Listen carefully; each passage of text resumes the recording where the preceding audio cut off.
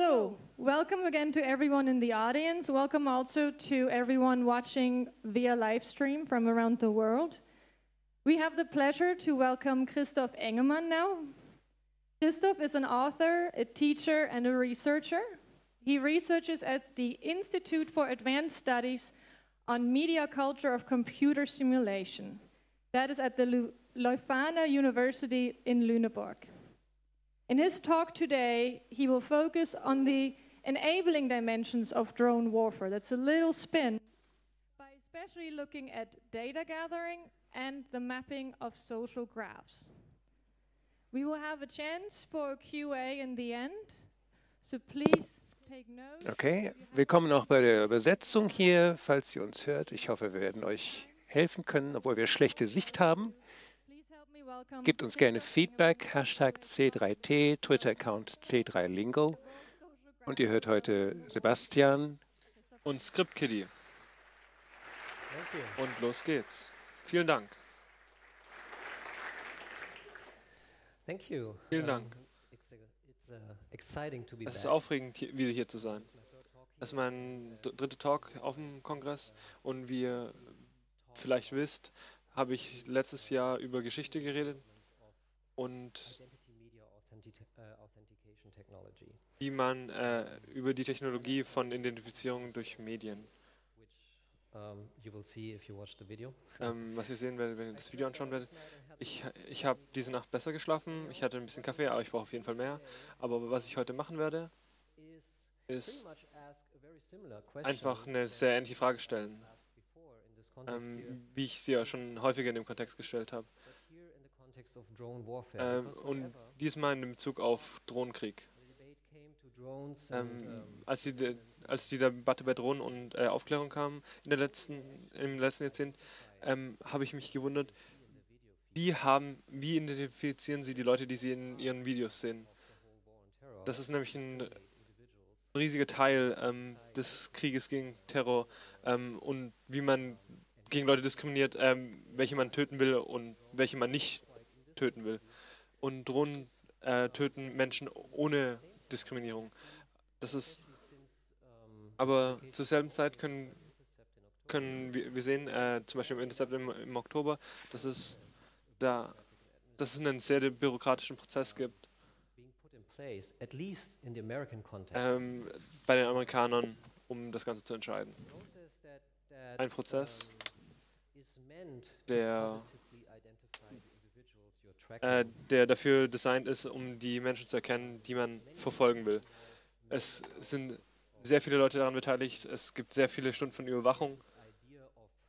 Und es gibt die Idee von einem Auge, was niemals wegschaut, äh, dass man sich Leute über Wochen anschaut.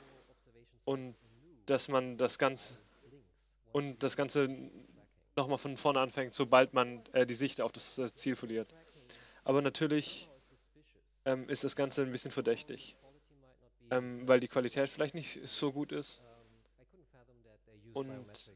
Ich konnte mir jetzt nicht vorstellen, dass sie biometrische Daten äh, verwenden in diesen Video-Streams, weil das Ganze ein bisschen schwer fällt. Ähm, also müssen sie was anderes benutzen. Das ist, was ich hier versuche ähm, zu lösen. Also vielleicht habe ich ein paar Antworten hier für euch. Ähm, die ganze Forschung ist ein bisschen schwierig, weil es sehr wenig Infos äh, öffentlich gibt. Äh, man muss die sich aus den äh, Snowden-Dateien zusammensuchen oder aus anderen Leaks oder aus irgendeinem anderen ähm, wissenschaftlichen Arbeiten, aus irgendwelchen Doktorarbeiten, die sich damit beschäftigt haben. Es sind aber interessante Quellen. Man kann sehr, sehr vi- vi- viele interessante wissenschaftliche Arbeiten dazu finden.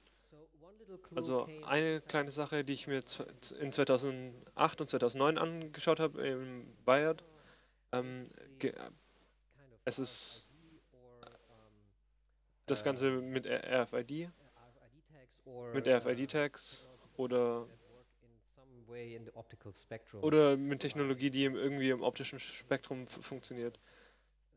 medium that then will show up in certain spectrum. Ein, äh, dies zeigt sich dann in bestimmten Spektren. Oh, die Katze ist weg, wie schade. Aber dies fing an, äh, äh, dies scheint ziemlich schwierig zu sein, weil man own. man, man, muss Zugriff haben auf Menschen oder Dinge, die diesen Menschen gehören. Und die Frage ist auch, wie, äh, wie genau kann man hier die Menschen entdecken. Also man braucht, wie gesagt, etwas anderes. Und um dieses Argument fortzusetzen, das ich heute machen möchte, äh, ich wie gesagt, es geht mir weniger um die Drohne als um die Infrastruktur. Ich, muss ich euch um einen, auf einen kleinen Umweg mitnehmen oder genauer gesagt in die Geschichte der Graphentheorie. Und diejenigen von euch, die Computerwissenschaft kennen oder Soziologie ein wenig, ähm, haben wahrscheinlich sehr viel mehr Ahnung von Graphentheorie als ich und ich freue mich immer auf neue äh, Erkenntnisse. Äh, hier ist ähm, ein Fluss, der Fluss in, in der Schweizer Mathematiker Leonhard Euler äh, legte die Grundlagen, äh, indem er diese Stadt und diesen Fluss äh, hier betrachtete. Er war in der Akademie St. Petersburg und äh, er veröffentlichte das sogenannte Königsberger, Königsberger, Brücken, Königsberger Brückenproblem. Die Frage war, kann man die sieben Brücken in Königsberg, die über den Fluss Sprege gehen, ohne dass man dieselbe Brücke zweimal benutzt? gibt es einen Weg. Und die Lösung von Euler war im Wesentlichen, dieses geografische Setting zu abstrahieren in, eine, in ein Setting, das man so darstellen kann ähm, oder so. Ähm, diese beiden Graphen sind isomorph, sie sehen verschieden aus, aber sie enthalten dieselben Verhältnisse, dieselben Topologie, dieselbe Topologie und sind deswegen also gleich. Und was wir hier sehen, sind hier, wir sehen hier vier Punkte, sogenannte Knoten und verschiedene Verbindungen, die die Brücken darstellen in diesem Problem, die Kanten genannt werden. Ähm, die Knoten sind also die Landmassen und die Kanten sind die Brücken. Und Euler konnte zeigen, dass äh, dass man eine ungerade Anzahl von Brücken hat in Königsberg und dass dies es unmöglich macht, jede Brücke nur einmal zu überqueren. Ähm, ein Graph wird üblicherweise äh, so aufgeschrieben als eine Menge von Kanten, als von, von Knoten und Kanten. Und ähm, und die Anzahl von Kanten wird oft das Gewicht genannt was ich hier gezeigt habe, es ist wichtig, ähm, sich zu erinnern, dass dies, ist weniger, dass dies ein weniger ein visuelles Tool ist, ein visuelles Werkzeug, aber mehr noch eine mathematische Beschreibung, mit der man Berechnungen ausführen kann. Graphen haben sehr, sehr viele Anwendungen in vielen Bereichen gefunden, von Chemie, die Beziehung zwischen Atomen und Molekülen kann dargestellt werden, in Linguistik oder Neurowissenschaft, wo die Verbindungen zwischen Neuronen durch Graphen beschrieben werden. Und einige von euch haben vielleicht diese Präsentation hier gesehen, denn sie kommt von der NSA. Es gibt zwei Foliensätze, die öffentlich erhältlich sind. Ein schönes Journal für die öffentlichen äh, Konsumenten ihrer Website. Äh, und 2014 äh, im Volume von äh, wurde, wurde dies äh, diese Graphenbeschreibung veröffentlicht. Da kommt das her. Also dies ist, was in der Sprache der Neurowissenschaft äh, Konnektoren genannt werden. Das ist also ein Graph der Verbindungen zwischen Synapsen eines gegebenen Gehirns. Äh, das ist ein ziemlich großes Datenproblem.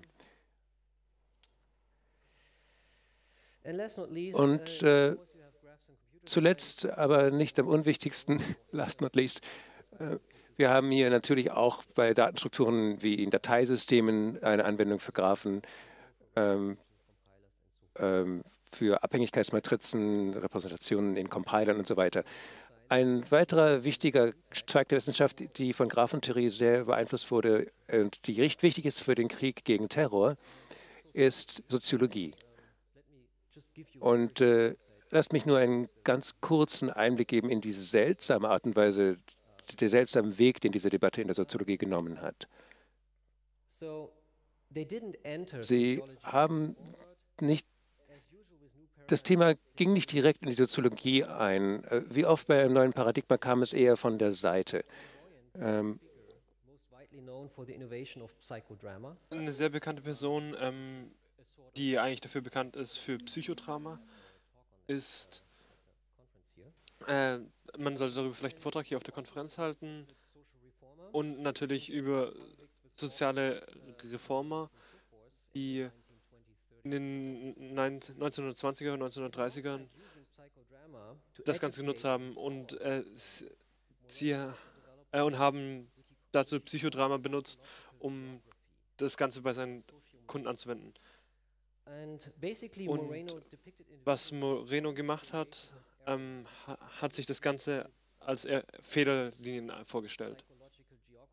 Und eins seiner psychologischen Geografien, also ein Buch von ihm, äh, geschrieben 1934, ähm, ist eine Sch Schulklasse in, im, im, ersten Jahr. Äh, die Mädels sind auf der linken Seite, die Jungs auf der rechten Seite und es gibt sehr viele ähm, Verbindungen zu, äh, zwischen den ähm, Leuten in der Klasse und zwischen den Geschlechtern. Und er hat praktisch die ganzen Verbindungen aufgezeichnet und hat einfach die, die Leute gefragt, mit, mit wem redet ihr? Und äh, also mit, mit wem? Und nach zwei Jahren sieht dieselbe geografische Anordnung dann so aus. Und das ist dann prakt praktisch wirklich getrennt. Ähm, außer zwei Leute, die über die Geschlechtslinie gehen. Und das sieht schon praktisch schon wie ein Graph aus, ähm, wie von Euler. Aber es braucht ein paar trainierte Mathematiker, um die, die, die Verbindung zu verstehen. Und wenn man das weiterlesen will, ähm, es gibt dann ein kostenloses Buch online, ähm, wo man dann die Geschichte solcher Entwicklungen nachlesen kann. Also was der Mathematiker gemacht hat, äh, Alan Bavelas, hat ähm, zusammen mit Psychologen gearbeitet, aus dem, einer aus, aus dem 21. Jahrhundert am MIT im, im Forschungszentrum für Gruppendynamiken. Und er hat zwei ähm, Doktorstudenten. Die, die erste formale Definition äh, von was wir heute soziale Graphen nennen, äh, erstellt haben. Und sie haben mehr oder weniger erfunden, was wir heute als Zentralitätsmaße kennen. Und mathematisch kann man dadurch messen, wie stark äh, ein, ein Knoten verbunden ist und mit dem Rest des Graphen. Und der Kontext, in dem diese Forschung geschah, war Firmen, die Interesse hatten zu wissen, was der Unterschied ist zwischen den formellen und den informellen Hierarchien in ihrer Institution. Ist also ähm, also natürlich das Problem von, von hierarchischen Organisationsformen, wo man äh, verschiedene Ebenen hat und ganz oben vielleicht eine Person. Was die Forschung zeigt, das ist, dass trotz dieser formalen Organisationen es sehr, sehr wichtige informelle Netzwerke gibt. Und frühe Forschung über soziale Netzwerke ähm, machte sich, beschäftigte sich mit der Forschung über diese Netzwerke und herauszufinden, wer tatsächlich zentral ist in diesen Informationsflüssen. Ähm, ein weiteres wichtiges Forschungsfeld in diesem Kontext war, waren pharmazeutische Firmen, die wissen wollten, wie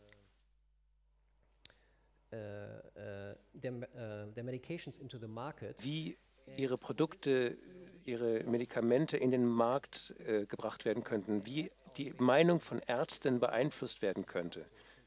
Sie haben also die Re Beziehungen zwischen Ärzten kartiert, um herauszufinden, welche man gezielt ansprechen müsste für ihre Kampagnen. Dies war in den 50er und 60er Jahren.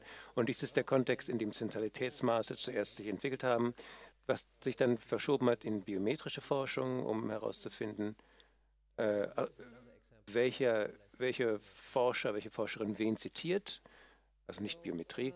Ähm, springen wir hier ein wenig. Ähm, also dies ist der historische Überblick, um den Kontext herauszustreichen, in dem Zentralitätsmaße verwendet werden in in anderen Wissenschaften. Und die, das Studieren von mündlicher und schriftlicher Kommunikation ist wichtig in Gruppen, in denen Zentralitätsmaße sich entwickelten und in denen sie als Index für die Stabilität oder Instabilität Stabilität von Organisationen verwendet wurden. Und äh, das, was wir soziale Netzwerke nennen, ähm, kam, äh, führte zu vielen neuen mathematischen Konzepten, ähm, noch bevor Computer ins Bild kamen. Wenn wir jetzt also jetzt etwa in das Jahr 2000 nach vorne uns bewegen, dann sehen wir, ähm, die, sehen wir jetzt auf einmal den graphindustriellen Kontext. Google hat zuerst bewiesen, dass ähm, PageRank und äh, Websuche zumindest äh, mehr oder weniger eine graphentheoretische Frage ist. Äh, auch beruhend auf Forschung aus den 50er Jahren mit dem Kontext, den ich gerade beschrieben habe. Google hat bewiesen, dass diese Maße wesentlich sind, um die anscheinend unmessbare Dynamik des Internets doch zu messen und hat gezeigt, dass man, ähm, dass man indem man Webseiten als Knoten und äh, Links zwischen ihnen als Kanten äh, modelliert, dass man tatsächlich etwas Sinnvolles daraus machen kann. Und ähm, seitdem gibt es neue Agenten, neue Akteure, die sich gezeigt haben, ähm, die äh, die Beziehungen zwischen, zwischen Individuen und ihren Aktionen als Graphen gezeigt haben. In 2000, Im Jahr 2012 hat die Beratungsfirma Gartner das folgende, äh, den folgenden Blickwinkel angeboten. Sie sagen im Wesentlichen, dass es fünf wesentliche strategische Graphen in der Wirtschaft gibt. Dies ist hier das Paper. Ähm, es ist bezahlter Content. Wenn jemand mir das komplette Papier nennen kann, wäre ich dankbar. Ich habe nur Teile. Dies ist ein Teil aus diesem Bericht. Die fünf strategischen Graphen, sozialer Graph, äh, Search, Absichtsgraph und äh, Verbrauchsgraph und äh, Interessengraph und mobiler Graph. In Absicht oder Interesse ist nicht ganz klar, aber das ist, was Google ähm, der Verbrauchsgraph ist im Moment von Amazon. Ähm, der mobile Graph ist über mehrere Telekommunikationsfirmen verteilt und der soziale Graph ist natürlich mehr oder weniger von Facebook und unter Kontrolle von Facebook und Twitter, zumindest im Kontext von westlichen Industrienationen. Die meisten von euch haben jetzt schon, schon die Verbindung gezogen. Ist es einfach nur die Wirtschaft, die die ähm, Wichtigkeit von strategischen Graphen erkannt hat? Sicherlich nicht. Nach den Snowden-Enthüllungen hat der Deutsche Bundestag der Deutsche Bundestag einen, einen Untersuchungsausschuss äh, ins Leben gerufen, um den, das Ausmaß der Überwachung besonders in Deutschland zu ergründen. Und ein Teil der, des Vorgangs war eine An Einladung für den NSA-Whistleblower William Binney, der auch hier beim Kongress, ich glaube, vor zwei Jahren war. Und durch, angefragt durch die Mitglieder des Parlaments, durch die Abgeordneten, ähm, über die Bedeutung von sozialen Graphen antwortete er, ähm, wir bauen eine Beziehung auf, wir bauen ein soziales Netzwerk der Welt auf. Ähm, es gibt ein Dokument auf Wikileaks, 186, äh, 68 Seiten, in dem sehr genau erklärt wird, wie die Welt äh, in einen Graph umgesetzt wurde. Ähm, Graphs oder soziale Graphen werden 15, 16 Mal äh, äh, erwähnt. Niemand aus dem ganzen Ausschuss fragt ihn, was das ist. Entweder wissen alle Abgeordneten, was das ist, oder sie ignorieren das Thema einfach. Interessant ist es, wenn man das Paper liest, die fragen eine Menge, stellen eine Menge Fragen über Karrierewege innerhalb der NSA, wie man also in einer Position wie er erreichen kann, wie viel Geld er verdient.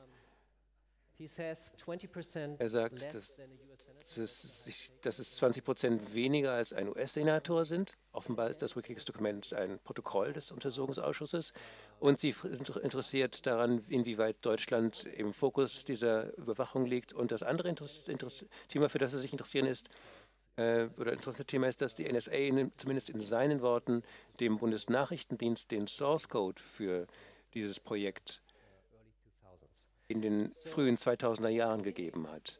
Also Binnys Projekt hieß ähm, ThinThread. ThinThread. Wir wissen nicht genau, was es ist, aber es scheint vor allem eine sehr große, eine riesige Graphendatenbank zu sein. Graph-Datenbank. Und der Unterschied zu dem, was später herauskam, als er ein NSA-Whistleblower war,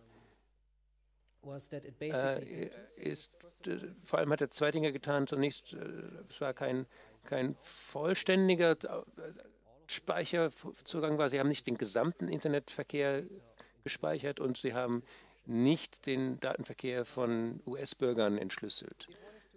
Wenn man Drake und Binney, Thomas Drake, der andere Whistleblower, wenn man den beiden glauben kann, ähm, ist der Nachfolger von ThinThread ein Projekt namens Trailblazer, das durch private ähm, Vertragsfirmen implementiert wurde und das diese beschriebenen Beschränkungen von ThinThread nicht mehr hat. Also das ist das Problem. It's, uh, it's es ist erstaunlich, wie stark sie äh, stark man sich gegen Trailblazer ausspricht, wenn ThinThread im Grunde das Gleiche auch macht, also das, die ganze Welt, die ganze Welt in einen Graph umsetzen. Ähm, und ein interessantes Element, ein weiteres ist hier ist das Timing. Äh, Binney sagt im NSA-Untersuchungsausschuss, dass in den 90, frühen 90ern dieses Jahr das Projekt gestartet wurde.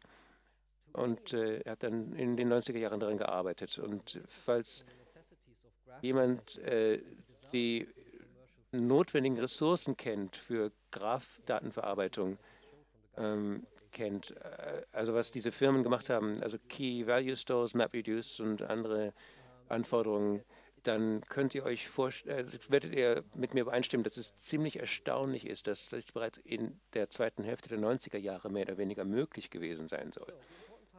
Also der wichtige Teil hier ist, es handelt sich nicht nur um Firmen, sondern auch Regierungen, die die Bedeutung von Graphen verstanden haben und sich damit beschäftigen, wie man sie ausnutzen kann. Und was in den letzten 15 Jahren geschehen ist, zwischen etwa 2000 und jetzt, ist ein fortlaufendes Rennen, die Welt in einen Graphen umzusetzen. Ähm, Militär, es gibt also jetzt einen militärisch-akademischen Graphindustriekomplex.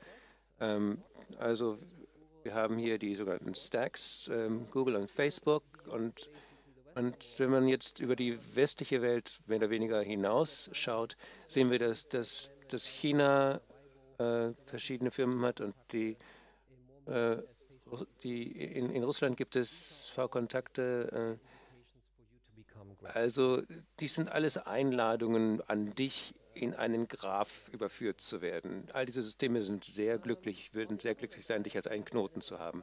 Auf der anderen Seite haben wir NSA und, und die Five Eyes Länder, die sich damit beschäftigen, die ganze Welt zu graphieren. Und äh, wenn die, die Snowden Papers enthalten nur indirekt Informationen über diese Dinge, weil sie sich mehr auf die Zugriffswege und die Sammlung von Daten konzentrieren. Ähm, die ganzen Akronyme, die wir seit Snowden kennen, sind im Grunde damit beschäftigt, die Daten zu erhalten und weniger, zumindest auf der Basis dieser Papiere, äh, mit der Sammlung und Analyse, mit, mit der Zusammenführung und Analyse dieser Daten.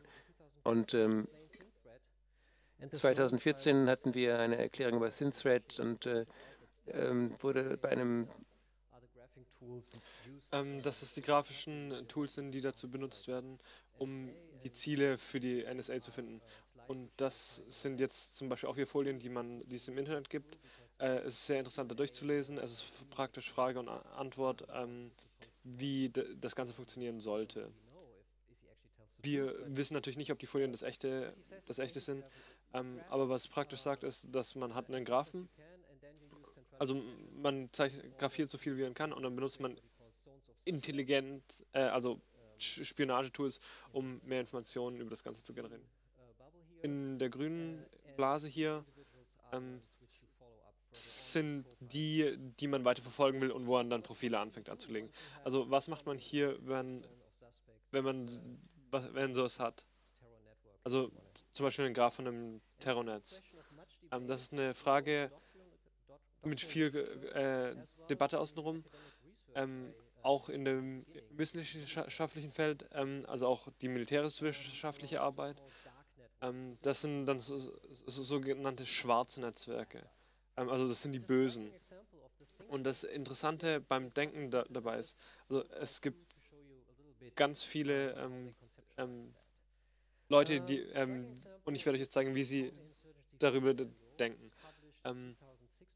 Der Bericht hier, der in 2006 veröffentlicht wurde, ähm, in, ich weiß jetzt nicht, wie viele Amerikaner hier sind, ähm, so, sogar die ähm, Times hat darüber berichtet.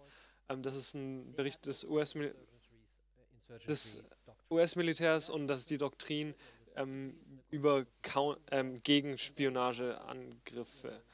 Und und je nach äh, und so wie der Krieg verlaufen ist, hat, wollte das dann niemand anfassen. Aber drei bis vier Jahre ähm, in, in den Krieg rein ähm, haben sie dann festgestellt, dass wir eine Richtlinie dafür brauchen. Also sie, sie haben diesen Typ jetzt, der später CIA-Direktor wurde. David Petraeus. Und der 2012 diese, das, das Buch veröffentlicht hat. Das ist ein sehr, sehr interessantes Buch, was ihr unbedingt lesen solltet, auch wenn es nur Memoiren sind. Äh, und er ist kein guter Autor. Aber es ist immer noch eine, ein Militärexperte. Aber wenn nur die Hälfte der, der Geschichten ähm, in, äh, aus dem Irakkrieg, die er erzählt, wahr sind, dann ist das wirklich faszinierend. Ähm, und er sch schreibt jetzt die, dieses Buch, also das Handbuch, und natürlich gibt es einen Anha Anhang ähm, und äh, wie, man äh, soziale Netzwerke ausnutzen kann. Und hier ist ein Beispiel, wie Sie sich das vorgestellt haben. Also, was man hier sieht, ähm, dass man hier ähm, ein Terrornetzwerk sieht oder wie man es immer nennen will, also eine Teilgruppe. Und jetzt das Wichtige ist, ähm, was man äh, hier mal, äh, was man sich anschauen soll, ist die Form. Ähm, und was man machen will, ist jetzt den Graph des Gegners verformen, also in, in der Spionage. Und man hat dann auf der linken Seite den Graph, dann ähm, macht, man, macht man weiter und dann schnappt man sich ein paar Leute und sorgt, sorgt damit, dass man ähm, den, den Graph aufstellen kann, also von den Gegnern. Und die, die Idee ist jetzt, den Graph so zu formen, dass es in, Info, Informationen zeigt über wer, wer ist wichtig in diesem Graphen. Man kann äh, ähm, ja, ich habe das am Anfang schon erwähnt. Und es ist sehr viel Debatte darüber, wie macht man das. Und was anderes Interessantes ist, diese wissenschaftliche Arbeit, die äh, in West Point im Netzwerkzentrum dort, ähm, die, ähm, und diesem, in dieser Arbeit benutzen sie, ähm, benutzen sie das Tansania-Datenset. Ähm, das kommt aus 1989 äh, aus, dem, äh, aus der US-Botschaft. 1998 Angriff auf die US-Botschaft in Tansania. Ähm, und was man versucht, ist dort jetzt zu, zu, äh, zu, automatisieren, wie diese Entscheidungen getroffen werden. Also, und die Idee ist jetzt, dass man den Graphen eher dünn äh, darstellt, in, in, indem man mehr, mehr zentral macht. Also was prakt ähm, und ähm, der Algorithmus sagt einem jetzt, welche Knoten müssen angegriffen werden, damit man nachher ein zentralisiertes Netzwerk hat. Ähm, und damit man nachher eine Sternform hat. Die Qualität hier ist jetzt ein bisschen schlecht, aber ähm, praktisch ähm, sagt der, ähm, also Sie wissen jetzt gerade nicht, wer Osama Bin Laden ist. Und, und der Algorithmus sagt, es er greift dir diesen Punkt, diesen Punkt und diesen Punkt an und dann führt dich die Kommunikation zu Bin Laden.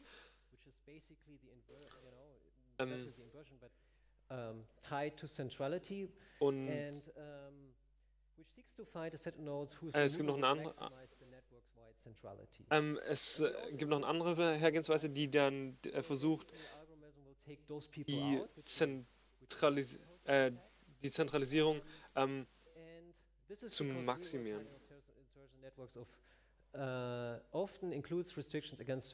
Ähm, und es ah, ähm, also Fragility würde dazu führen, dass man die Zentralität erhöht und also welche Punkte entfernt werden müssen.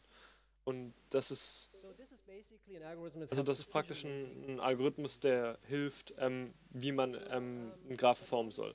Also wie bekommen wir aber diese ähm, äh, wie bekommen wir diese Graphen, wenn die Leute nicht immer online sind und zum Beispiel keine Handys haben, die sie immer mit sich rumtragen? Also jetzt zum Beispiel in, in so einem Land wie Afghanistan, was dort das Militär gemacht hat. Sie haben Anthropologen äh, angeworben und äh, haben gefragt, äh, haben diese Fragen hier gestellt, äh, welche fünf Leute hier hast du am längsten, kennst du am längsten, welche fünf Leute hier hattest, mit welchen fünf hattest du äh, vor kurzem de, zuletzt Kontakt, welche sind die wichtigsten Leute hier und welche sind die wichtigsten Leute hier in diesem Ort. Und dies wurde in einen Graph umgesetzt, die, die Bevölkerung in dieser Gegend wurde dann also in einen Graphen umgesetzt und konnte dann geformt werden. Das ist also hier Map Human Terrain. Ähm, der Name dieses Systems wurde vor einem Jahr allerdings dann zugemacht. Von 2006 bis 2014 war es im Betrieb sehr kontrovers. Die amerikanische anthropologische Gesellschaft äh, tatsächlich hat sich geäußert und gegen dieses System, äh, sich gegen das System ausgesprochen und hat dort stark protestiert. Es gibt einen interessanten Film darüber, den ich empfehlen kann.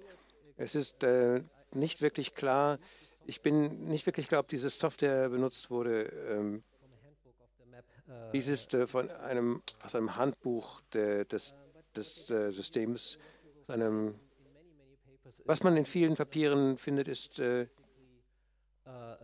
ist ein Software-Tool, ähm, Analysts Notebook, mit dem man Zentralitätsmaße herausfinden kann und, und verwenden kann um Einzelne zu verfolgen und äh, Profile aufzustellen.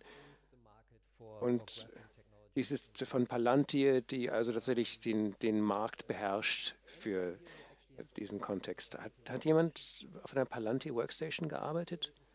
Ich versuche immer noch jemanden zu, ich warte immer darauf, jemanden zu finden.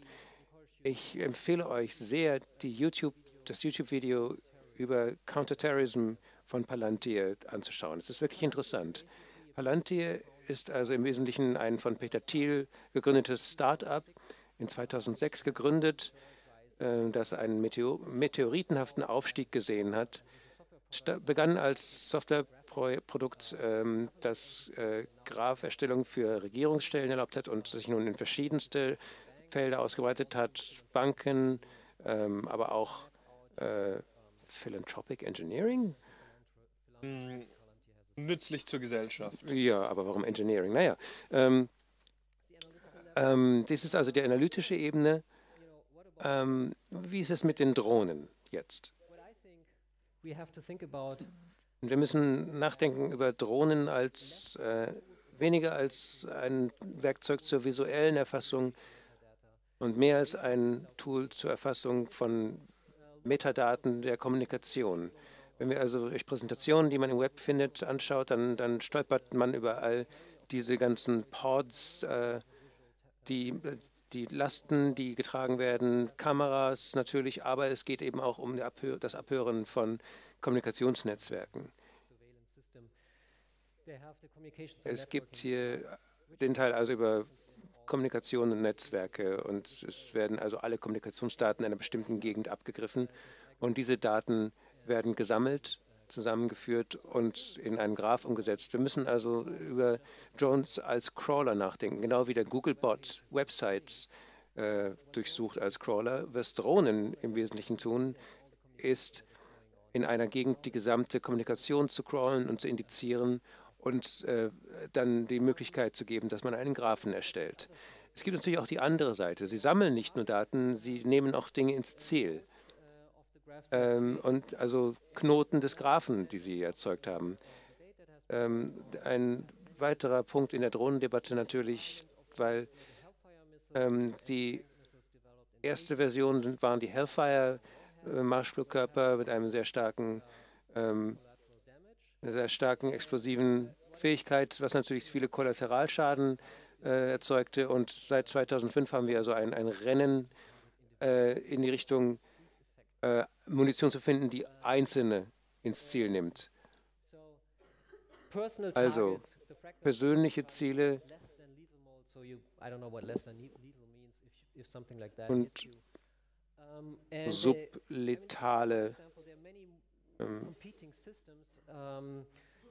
call, this is Es gibt hier viele Systeme im Wettbewerb, dieses heißt Viper Strike. circles which tell you the blast areas of different Ähm, ammunition. wir haben hier also Präsentationen über die, die Explosionsbereiche von verschiedenen Waffen und dies ist vergleichsweise klein verglichen mit einem Hellfire Missile in diesem Fall hier. Ähm, das ist also das, was Shaping machen kann. Es gibt zwei Möglichkeiten, einen Graph zu shapen, zu formen, kinetisch und nicht kinetisch. Ähm, for kinetisch ist sozusagen der Euphemismus für das Töten von Menschen. Ähm, wenn wir das, wenn wir das in einem Doktrinkontext anschauen und in der Geschichte des Luftkriegs, dann haben wir eine Bewegung von Massenvernichtungswaffen zu individuellen Vernichtungswaffen. Äh, Im Wesentlichen ging man in den Irak, um Massenvernichtungswaffen zu finden und hatte dann am Schluss individuelle Vernichtungswaffen. Das ist im Wesentlichen, was im Irak passiert ist. Und was nun im Ende, am Ende herauskommt, dies ist laufende Forschung. Ich äh, präsentiere im Grunde meinen Werkzeugkasten und das muss natürlich noch alles ausgefüllt werden. Äh, was aber seit 2000 passiert ist oder ein bisschen früher, seit ein bisschen, schon ein bisschen länger, ist, äh, dass Binnies, was have ähm, Graphen sind jetzt heutzutage geostrategische Werte. Es gibt äh, zwischen verschiedenen Institutionen ein, ein Rennen, um die ganze Welt in einen Graph zu, um, umzusetzen. Und die Frage, wer jetzt den größeren Graph hat, wird wichtig, ist wichtig. Und die Unterscheidung zwischen Karte und Territorium wird, äh, wird verschwimmt. Ähm, es, ist ein, äh, es geht jetzt um eine dynamische Repräsentation der Aktivitäten und der Kommunikation von Individuen. Und dies wird natürlich in dem Moment, in dem man es beobachtet, auch mitgeformt.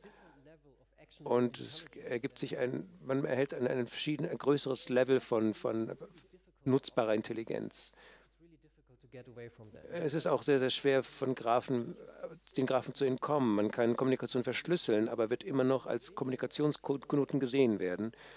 Und was äh, Binney und Snowden immer hervorheben, ist, dass der Metadatenaspekt, denn das ist, was Graphen tun, sie verarbeiten, sie, sie verdauen Metadaten, sagen dir, wer mit wem verbunden ist, in welcher Form, wie, wie eng, wie nah.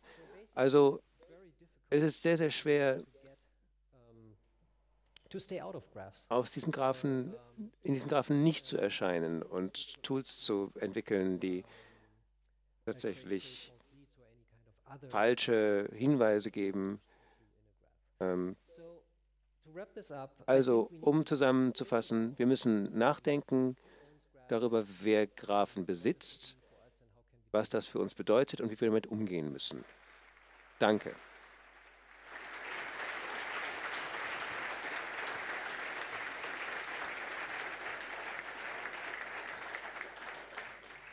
Wir haben for 20 Fragen für Fragen. Wenn ihr also Fragen habt, bitte geht zu einem der vier Mikrofone in den Gängen. Wir fangen mit einer Frage aus dem Internet an, wo, während alle anderen sich bereit machen für die Mikrofone. Nur eine Frage aus dem Internet. Könntest du uns sagen, wie der YouTube-Film über Human Terrain Graphics Software heißt? Okay, also einer ist das Palantir-Demo gegen, äh, bei Counterterrorismus und ich habe den äh, Human Terrain Namen leider vergessen. Einfach googeln. Ich weiß aber nicht, ob er auf YouTube ist. Okay, then um, in the front on the what is that? Left side. Uh, First of all, thank you for the Zunächst danke für den Talk. Eine Frage über die Erstellung der Graphen. Wenn man solche Graphen erstellt, dann hat man natürlich Messfehler. Es ist sehr schwer, äh, diesen Graph zu erstellen. Äh, die meisten Zentralitätsmaße sind sehr empfindlich gegenüber Messfehlern. Meine Frage, Kennst du irgendwelche Forschungen, kennen Sie irgendwelche Forschungen, die sich damit beschäftigen, wie verrauscht diese Graphen sind und die Probleme, wenn man Entscheidungen äh, aufgrund dieser Graphen fällt, tötet man vielleicht die falschen Menschen? Ich, ich, ich kenne mich leider nicht mehr in, mit, der Liter, mit der Literatur in dem Gebiet aus, aber das ist eine Frage, die Bini äh, gefragt wird, aber die, die nicht beantwortet wird. Im NSA-Untersuchungsausschuss ähm, lässt er das recht vage. Wenn man sich das ganze, das MIT, wenn sich das MIT Network Center anschaut, ist, ist eine der Sachen, die man sieht, in, auch in den Drohnenpaper vom Intercept, was, was sie entweder versuchen, ist, dass äh, die Entscheidung einfach zu auto automatisieren und dass damit die Verantwortung bei der Maschine liegt. Oder dass man die Verantwortung auf so viele Leute aufteilt wie möglich. Es gibt also mehrere, ähm, äh, mehrere Prozesse, die sich gegenseitig überprüfen. Review-Prozesse, ja. Ähm, um sich dann äh, zu entscheiden, was ein Ziel ist. Das ist, wie ich denke, dass sie versuchen, damit umzugehen. Aber ich bin kein technischer Experte ähm, für diese Frage. Vielen Dank. Vielen Dank. Ich wollte nur sicherstellen, dass ich dieses Shaping, diese Form von Graphen richtig verstanden habe. Heißt das, dass Menschen verhaftet werden oder getötet werden, nur weil sie zufällig ein Knoten in diesem Graphen sind, dass den, der den Graphen zentraler macht? Ähm, nicht, weil sie was Schlechtes getan haben oder unter Terrorismusverdacht stehen, also einfach nur aufgrund der Graphinformation. Ist das, was Shaping heißt? Ja. Also ich weiß nicht. Und es ist wahrscheinlich ohne Sicherheitsclearance ähm, ähm, diese Infos zu bekommen. Ähm, das, was ich euch hier gezeigt habe, das ist wirklich was, wo eingesetzt wird. Ähm, und aber die Anweisung, also die Handlungsanweisung sagt praktisch, dass man ähm, sich für Knoten entscheidet, die einen bestimmten, einen, ähm, bestimmten Einfluss haben und es gibt dann die Möglichkeit, sie zu töten oder mit ähm, zu schnappen und Informationen aus ihnen rauszubekommen. Okay, thank you. Then we have a question on this side, on the microphone in the front.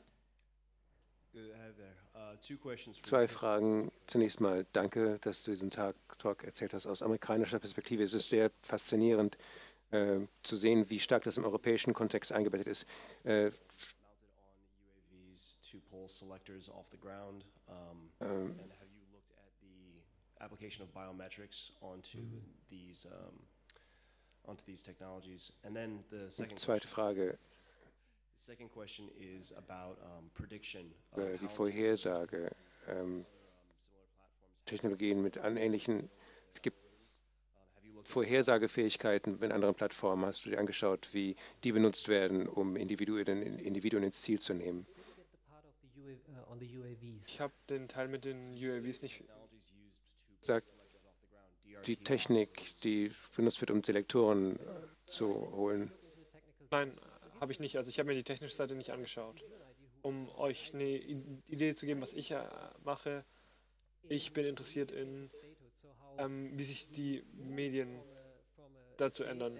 Oder wie wir von einem, äh, wie wir von einem Staat, der praktisch auf Papier gebaut wurde, ähm, uns in die neue Zeit bewegen und wie sich dann die neuen Tools ähm, die, die Landschaft verändern wie man dann zum Beispiel mit persönlicher Identität umgeht. Also ich, ich schaue mir das auf diesem Level an. Ich bin kein Experte im, im technischen, in den technischen Details. Aber, aber schau, schau dir mal die Snowden-Dokumente an. Es gibt da ein paar Kataloge, ähm, mit, wo es ein paar Informationen gibt, äh, wie sie die Daten gesammelt haben. Ich weiß nichts über die Bio Biometrik in, in Bezug auf, auf UAVs und ich glaube nicht, dass sie benutzt werden, weil Biometrik, ähm, weil Biometri biometrische Identifikation hat zu viele falsche, falsche Ergebnisse. Und wenn man Menschen als als ähm, Möglichkeit benutzt, um Leute zu identifizieren. Can we go back over here to this microphone, please? Hi, I'm Henrik. Hi, Uh, ich bin Henrik, ich bin ein Journalist. Ich habe einige Geschichten geschrieben, Berichte äh, über die Snowden oder aufgrund der Lage der Snowden-Dokumente. Ich kann die Frustration verstehen, wenn man nicht viele dieser Materialien nicht sehen kann, nicht bekommen kann. Könntest du ein bisschen mehr über geheim gehaltene Forschung sprechen? Äh, es gibt hier natürlich immer eine Balance äh, zwischen Universitäten, äh, cannot access. Um, that's Also die Menschen auf der öffentlichen Seite können dann das Material nicht erhalten. Zweite Frage, die Beziehung zwischen der Grafenarbeit im kommerziellen Bereich und dem, was in der Welt der Geheimdienste passiert, ist eine Forschung sehr viel weiter als die andere? For Also, Ähm, was die ähm, Top-Secret-Forschung angeht, das ist was, was ich akzeptieren muss, dass ich ähm, mit einfach Leaks arbeite und Veröffentlichungen arbeite, die aus dem Militärbereich kommen. Und eine Art, damit umzugehen, ist stay in the historical realm. ein- einfach ähm, sich mit der Geschichte zu beschäftigen. Also man geht einfach zurück in die, in die Zeit und man versucht dann zusammenzusetzen, was in den 80er und 90ern passiert ist. Und man kann nicht über die heutige Zeit, Zeit, raten, äh, Zeit was sagen, man kann nur raten, weil man nicht die Informationen dazu hat. Ähm, zwischen den Beziehungen zwischen Regierung und. Geschäften, ähm, das Ganze mal herzustellen, das Ganze zu grafieren. Aber was offensichtlich ist, wenn man sich die Dokumente anguckt, ähm, über akademische Debatten 2000, in den frühen, in den frühen zwei, äh, 2000ern, ähm, das geht immer hin und her. Es gibt keine, keine Verschwörung, ähm, aber eine eine, eine Debatte, ähm, wo dann Leute vom Militär mit anderen Menschen reden und die dann mit der NSA und dann mit dem Secret Service, and ideas wo die Ideen äh, rumgeflogen sind, ähm, ähm, haben an, an andere Leute ein Geschäft daraus gemacht, das für, äh, für Nutzer und die anderen zum Beispiel für Regierungen oder so Sachen wie Geschäfte. Also ich denke, dass das sicher ist. Ich habe keine Ahnung, gut oder schlecht. graphing capabilities Ähm, die Gra GHQ Graph-Möglichkeiten des GHQs oder der NSA sind. Aber ich bin Palantir. ziemlich sicher, dass sie Palantir benutzen. Palantir ist, you ähm, das ist einfach ein Softwarepaket, das man schnell ausrollen kann und man Ergebnisse damit bekommen kann. The commercial sector Also es gibt einen strong. ähm, kommerziellen Sektor, der da sehr stark zu, zu sein scheint. Um, hello. Uh, thank Hallo. You for your talk. I've got Danke für den Talk. Mehr eine Bemerkung als eine Frage. Du uh, fragst, ob Biometrie, biometrische Identifizierung nützlich sein könnte. Eine Idee, was vielleicht funktioniert. Bewegungsmuster erkennen, denn das, es gibt eine Menge Forschung dazu. It, even works on basis of people that only are like five pixels tall. Das reicht, dafür reicht es schon, wenn man vielleicht fünf Pixel von einer Person hat. Also was man life dort finden, also äh, wie man Lebensmuster ausnutzen kann. Ähm, also das praktisch, ähm, mit wem man äh, sich unterhält und wo man Zeit verbringt und zum Beispiel wo schläft man, also wo und wo isst man und und ein Teil dieser Zielidentifizierung ist ist praktisch ähm, dieses Muster für ein Individuum rauszufinden. Und das ist dann auch, was benutzt wird für, für die Vorhersagen. Und dann kann man das auch für Vorhersagen nutzen, zum Beispiel, wo wird die Person morgen sein. Und das ist auf jeden Fall Teil dieses Prozesses.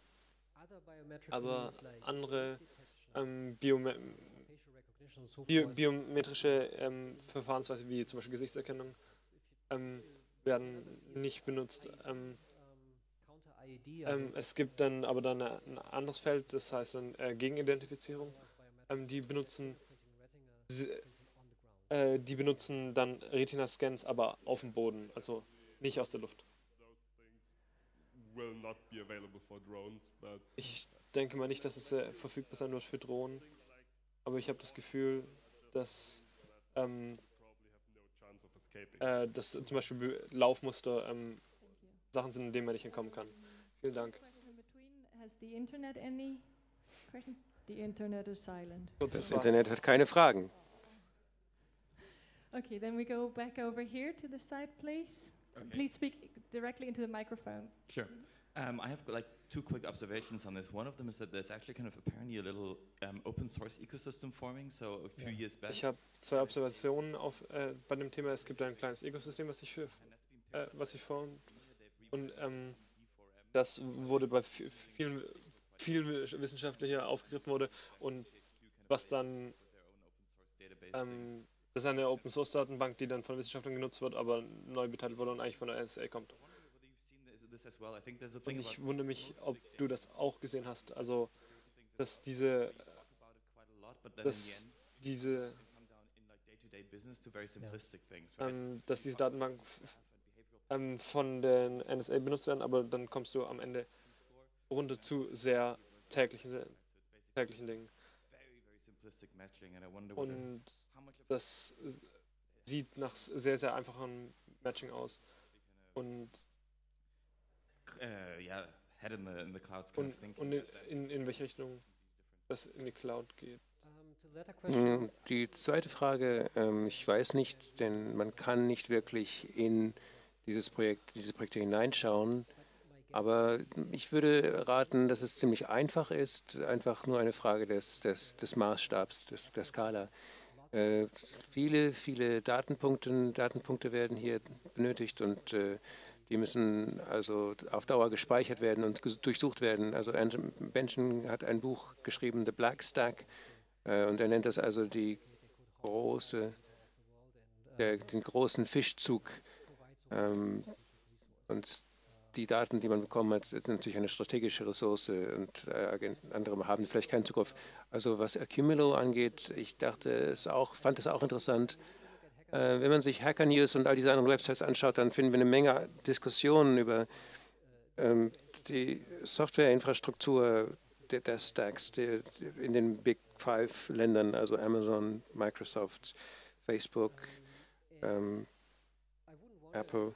Und ich würde mich nicht wundern, wenn es viel Wissen und, und Tools gibt, die, die da hin und zurück gehen. Ähm, wenn ja einen Graph hat, der uns zeigt, wie euch die Daten aussehen in den NSA, dann sieht er wahrscheinlich nicht sehr ähnlich aus äh, wie der von Amazon. Vielleicht ist es sogar teilweise der von Amazon. Also äh, das ist also jetzt der Teil des großen Komplexes. Es gibt äh, Wissen, das herumfliegt und ähm, dass das jetzt akademisch oder im Geschäftskontext ähm, discourse that, that emerged once so much data was diese Kontexte sind einfach zusammengeflossen und ähm, es zeigt sich, dass das gleiche, die gleichen Methoden einfach wertvoll sind.